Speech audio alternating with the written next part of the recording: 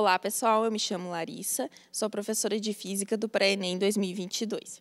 Esse é o meu sinal em Libras. Eu sou uma mulher branca, de pele clara, cabelos e olhos castanhos, uso óculos, estou vestindo a camiseta do Pré-ENEM, na cor magenta, e um casaco numa cor berinjela.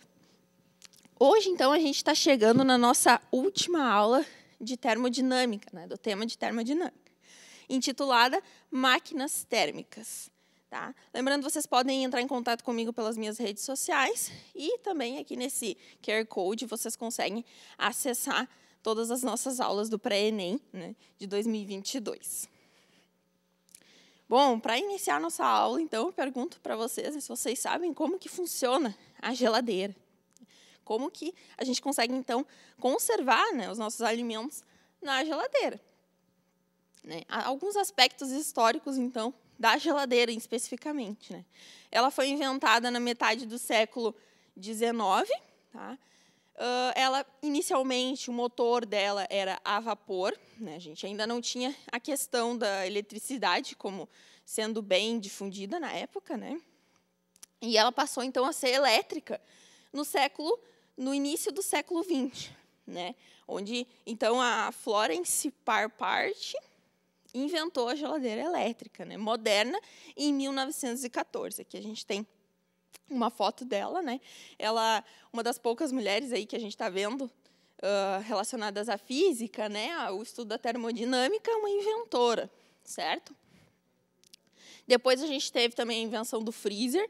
Né? O freezer, então, ele consegue reduzir mais ainda a temperatura, chegando a, a congelar, né? deixar no estado sólido a água e os alimentos. E depois também a gente teve um modelo frost free, né? que apesar dele ser, ter se difundido há pouco tempo, né? ele já foi inventado no final do século XX. Né? Um, esse frost free, né, para quem não conhece, é aquele modelo então de geladeira que o congelador, né, o freezer que a gente chama, ele não tem então um acúmulo de gelo ao redor, né? O que se torna bem mais prático para o dia a dia, onde não é necessário fazer aquela limpeza, né? Desconge colocar a geladeira para descongelar, como a gente chama, né? Bom, para iniciar então esse assunto, primeiro a gente precisa entender algumas coisas, né? Como sempre, a gente chegar na nossa resposta, né? o sistema aberto. A gente chama de sistema aberto o sistema que troca energia e massa com a vizinhança. Tá? Um exemplo pode ser o corpo humano, tá? mas muitas coisas vão ser né, consideradas sistema aberto. Depois a gente tem o sistema fechado. O sistema não troca massa com a vizinhança, né? mas permite a passagem de calor e trabalho por sua fronteira, né? É, uma passagem então de energia. A nossa xícara, né, de, de café, o que, que acontece, né? O café, o líquido, a massa do café fica retida aqui dentro. Mas isso não quer dizer, né, que ele não vai trocar energia com o ambiente, porque vai chegar um ponto que ele vai, né, é, entrar em equilíbrio térmico com o ambiente, vai reduzir, né, a sua temperatura. E, por último, o sistema isolado, que a gente já falou um pouquinho sobre a nossa garrafa térmica, que é um exemplo é, bem claro que a gente tem disso. Né? O sistema, então, não troca massa e nem energia com a vizinhança, né? ele é totalmente isolado. Claro que a gente sabe que, idealmente, né, isso é muito difícil de, de acontecer, né? Tanto que a garrafa térmica, a gente pode deixar um tempão lá, mas vai ter um ponto que ela vai começar a perder né, energia, porque ela não é perfeita, né, mas quase perfeita. Então, ela dura um bom tempo, né, a energia se mantém então, no mesmo estado. Né? Então, se tanto para temperaturas altas quanto para temperaturas baixas. Tá? Também funciona a garrafa térmica. Se você quiser manter uma água gelada, né, ela vai funcionar também. Então, agora, a gente já falou na última aula sobre a primeira lei da termodinâmica, agora a gente vai falar sobre a segunda lei, né? A segunda lei pode ser enunciada de muitas maneiras, né? vocês podem encontrar de outras formas, mas né, uma delas, né, uma das mais simples que a gente tem é o calor por si mesmo jamais flui de um objeto frio para um objeto quente. Aí a gente tem que prestar atenção nessa parte aqui, ó, por si mesmo. Tá? Por quê? Quer dizer que é espontâneo. Tá? Porque se a gente for parar para pensar, né? Ó, o que, que acontece? O que, que a gente está dizendo, né? que um corpo de temperatura mais alta que um corpo de temperatura mais baixa, tá? E a gente consegue, então, que o calor né, seja transmitido nesse sentido, né? Da temperatura mais alta para a temperatura mais baixa, certo? Mas ela está falando que não pode acontecer o contrário de um corpo frio, né? Eu vou uh, simplificar assim, né? chamar de corpo frio, mas é um, um corpo de temperatura mais baixa. Não pode passar então para um corpo de temperatura mais alta, né? Um corpo quente. Mas é importante a gente lembrar essa parte, né? Por si mesmo. Por quê? Porque senão a geladeira não ia funcionar, né, gente? Porque como que eu estou, então, diminuindo a temperatura da geladeira? Né? É justamente é, isso aqui que a gente tem que prestar atenção. Tá? De forma espontânea, isso aqui não pode acontecer. Agora, se eu aplicar trabalho, né, que é justamente o que a geladeira faz, a gente pode acontecer isso aqui sim. Tá? Então, agora a terceira lei da termodinâmica, para a gente finalizar, né, as leis. Estabelece que nenhum sistema pode ter sua temperatura absoluta reduzida a zero. De tempos em tempos, né, pesquisadores têm tentado atingir essa ilusória temperatura, chegando cada vez mais perto dela, mas apenas mais próximo. Então, a gente conversou lá na, nas primeiras aulas né, de termodinâmica sobre as escalas né, de temperatura. Enfim, a gente tinha na escala Kelvin aqui o zero, né, na Celsius o menos 273, e na Fahrenheit menos 459, né, que é a que a gente chama de zero absoluto. Mas essas temperaturas aqui, né, elas são apenas ideais, né? Mas vejam, os cientistas estão cada vez chegando mais próximos delas. Então a gente consegue sim, né, ter uma temperatura tão baixa quase quanto essas aqui, né? Só para lembrar então que não é possível a gente chegar nela especificamente, tá? Bom, um pouco sobre os processos, que a gente falou lá na nossa primeira aula de termodinâmica, a questão de um processo ser irreversível, reversível, e eu falei para vocês, depois a gente entender melhor. Agora a gente vai entender. Então, num processo reversível, o sistema e a vizinhança podem perfeitamente né, ser restaurados aos seus estados iniciais após o processo. Tá? E no processo irreversível, ele não pode ser restaurado. Né? Do estado inicial para o final, ele não pode voltar para o inicial. Tá? E é isso aqui que a gente que acontece, tá, gente? É muito difícil a gente conseguir então o processo reversível, né, que volta para o seu estado inicial. Geralmente a gente tem na termodinâmica o irreversível, né? Então, o processo reversível é uma idealização, como eu falei para vocês, tá? E os irreversíveis são os processos reais. Na Terra, né, todos os processos são irreversíveis, tá? Um exemplo disso, né, aplicado, é a questão da entropia. Tá? Esse é um termo que a gente vai entender um pouquinho melhor. Então, a gente fala que na entropia a gente tem uma energia organizada que passa a ser uma energia desorganizada. Tá? Então, energia organizada é uma energia então concentrada, energia de alta utilidade e qualidade. A gente já vai entender melhor isso, tá? E depois a energia desorganizada degenerada, energia de baixa utilidade e qualidade. Tá? Um exemplo disso, por exemplo, uh, é a hidrelétrica, né? se a gente observar.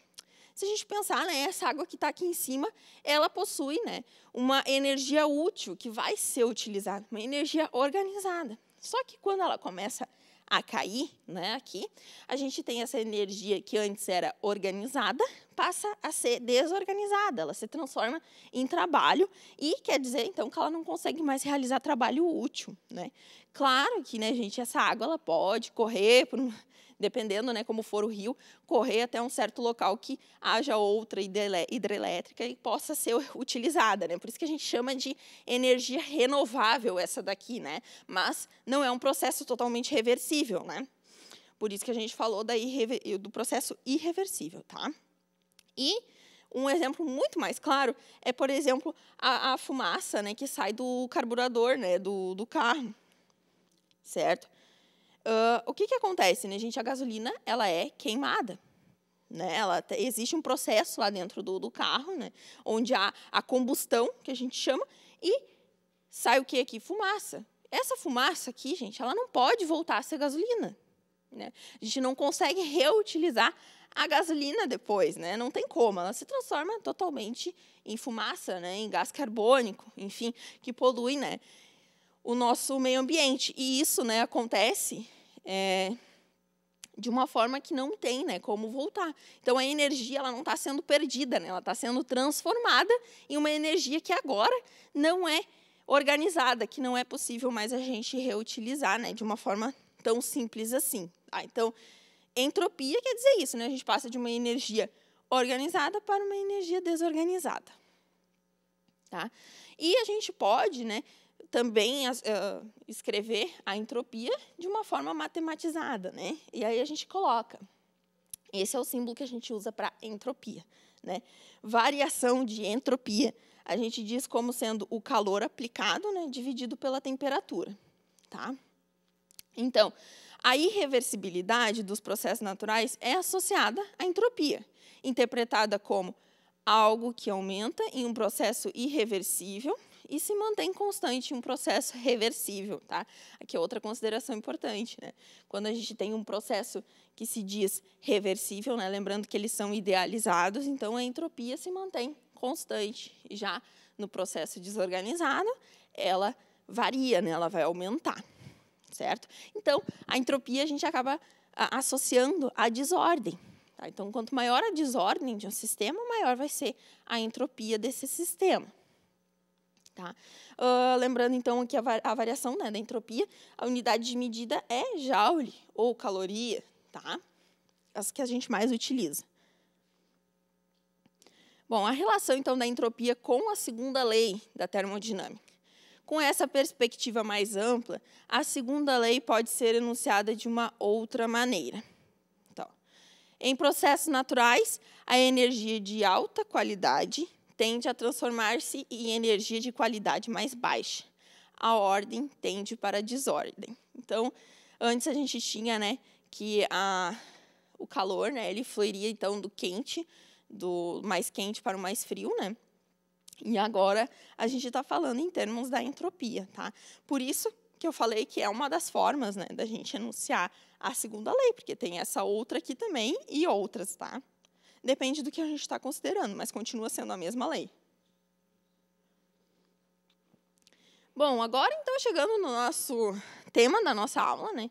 As máquinas térmicas. As máquinas térmicas são aquelas que realizam trabalho ao receber calor, como as turbinas a vapor ou a gás, e também os motores de veículos. Em toda máquina térmica, somente uma parte do calor é convertido em trabalho.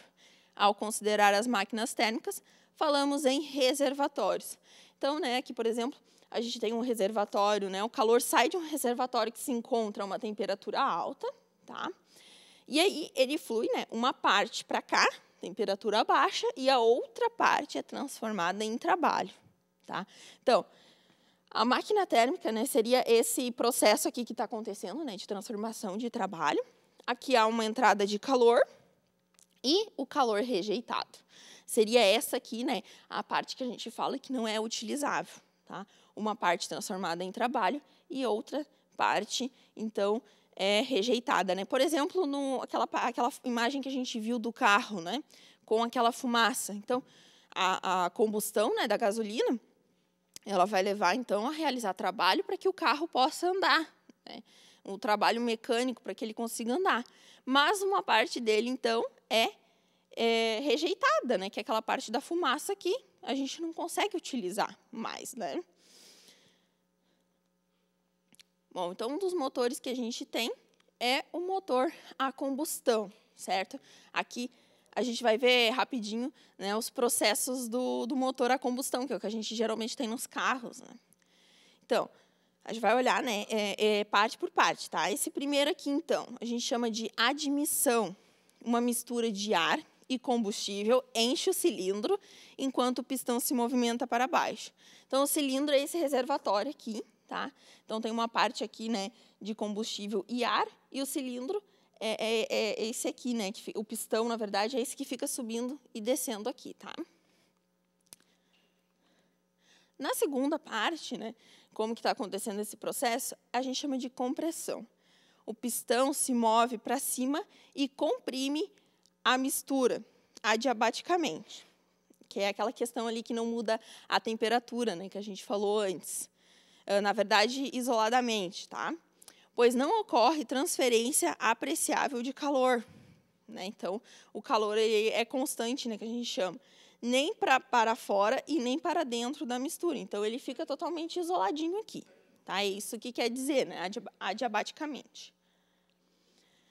Depois, a explosão, né, que é onde basicamente vai gerar né, o, o movimento. Uma centelha inicia né, a ignição, que é uma questão ali de um, uma centelha que fala, né, é como se fosse uma faísquinha, tá? que é gerada ali. Ó.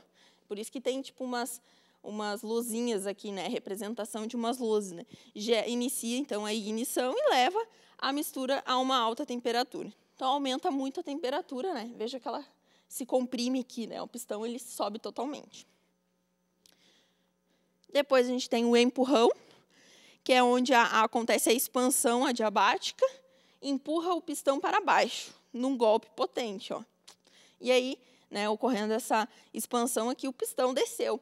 E claro, né, gente, ó, vejam que o pistão está sempre associado a, a esse giro aqui, né? E é justamente esse giro aqui que vai fazer o nosso motor funcionar. Tá? E aonde então o carro vai entrar em movimento. Tá? Importante lembrar disso, né? Que ó, vejam que ele está em movimento, né? Ele gira para um lado e para o outro. E por último, a gente tem a descarga. Os gases da queima são expulsos pelo tubo de descarga. Então, a válvula de admissão se abre e o ciclo recomeça. Então, lembram, né? A parte que foi então transformada em trabalho, né? Mas a gente tem a parte aqui que é onde ele abre, né? E sai a nossa fumaça, então, para fora do carro, né? Então, assim que funciona o nosso motor a combustão, né? Claro que aqui a gente está trazendo de uma forma mais simplificada, né? Mas basicamente é isso aqui que acontece. Depois a gente tem também o motor a vapor, tá? O que, que acontece, né? A gente chama de ciclo do vapor. Principalmente antigamente, né, nas máquinas térmicas, que a gente já conversou na Revolução Industrial, elas eram feitas, então, com motores a vapor. Tá? A gente, claro, utiliza hoje ainda, mas naquela época era muito mais frequente, né? até a própria geladeira foi feita inicialmente com motor a vapor. Então, a turbina, que é basicamente, parece um, uma forma de um ventilador, né? enfim, são pás que giram, né? a turbina gira porque a pressão exercida sobre as partes frontais das pás da turbina pelo vapor aquecido em alta temperatura é maior que a pressão exercida sobre as partes posteriores das pás pelo vapor em baixa temperatura. No lado de trás das pás, então aqui a gente tem um ciclo, né? A temperatura, então, ela chega aqui, né? Esse vapor, ele chega aqui com uma alta pressão. E aqui, né? Quando ele passa por aqui, ele já condensa, né? E passa a baixa pressão. E aí o vapor vem né, e se transforma em água de novo, por isso que se chama condensador. Né? E aí a gente tem uma bomba aqui, né, onde essa água sobe, ela vem para cá, né, onde ela é superaquecida, e quando ela é superaquecida, o que, que acontece com ela? Ela evapora né, e se transforma em vapor de novo e faz todo o processo, né, o ciclo então, de condensar e de evaporar né, de ebulição aqui que acontece com essa água né, na caldeira. Tá? E uh, acontecia muito assim, se vocês procurarem assistir filmes né, da Revolução Industrial dessa época, é, de sair muita fumaça, né, muito vapor das máquinas, não, nem, nem, nem só fumaça, né, mas muito vapor. E também acontecia também das pessoas se queimarem, né, muito por causa desse superaquecimento que acontecia, né, principalmente nas indústrias têxteis. Né, a gente pode até observar em algum filme essa situação. Bom, a gente tem também a máquina de Carnot, né? o ciclo de Carnot, a gente pode chamar assim também, que é a máquina que a gente chama de máquina térmica ideal, com rendimento, então, de 100%. É um objetivo, então, perseguido pelos cientistas até o início do século XIX. Tá? Então, já se sabe né, que não existe então uma máquina de rendimento 100%, né, mas naquele tempo o pessoal eu estudava bastante né, sobre isso para tentar chegar a esse objetivo uh, de 100%. E, claro, uh, a gente chama de máquina de Carnot, então esse modelo ideal, né, que não existe na realidade. Depois passou um tempo, né, o pessoal começou, na verdade, a se dedicar a aumentar o rendimento, né, e não deixar ele em 100% porque não é possível mas aumentar eles conseguiam, né? fazendo alguns alguns ajustes, foi possível então aumentar muito o rendimento das máquinas. Então, o ciclo de Carnot, né, ele é representado dessa forma aqui, onde a gente tem então duas é, isotermas, né, duas uh, adiabáticas aqui, tá? Onde então acontece esse ciclo fechadinho aqui, tá? Ela é representada, né, desta forma aqui, tá? De novo, ó, a gente falou na última aula bastante sobre pressão, volume e temperatura, a gente tem um gráfico P por V, tá? E aqui, né, é representado então essas variações de temperatura, tá? Onde a gente tem um ciclo aqui, ó. Lembram que eu falei também na última aula sobre as transformações cíclicas, né? Que elas não precisavam ser exatamente daquele formato. Então, isso aqui também é uma transformação cíclica, né? Só está de um formato diferente que tem o nome, então, de máquina de Carnot. Bom, agora a gente vai, então, tentar responder como que funciona a geladeira. Tá? Os processos envolvidos né? nesse nesse equipamento que a gente usa bastante na nossa casa, né, e que trouxe muitas facilidades para o nosso dia a dia, né. Pensem, a, a, gente já não lembra disso, né, mas como que era antigamente, né. É, eu pelo menos não me lembro, né, de nunca ter, de não ter geladeira, enfim, de não existir a geladeira, né. Então era muito mais difícil as coisas, né, para conservar os alimentos, tudo. Já existia, claro, o gelo, né, água congelada, mas era muito caro, muito difícil de se transportar né, esse material. Tá?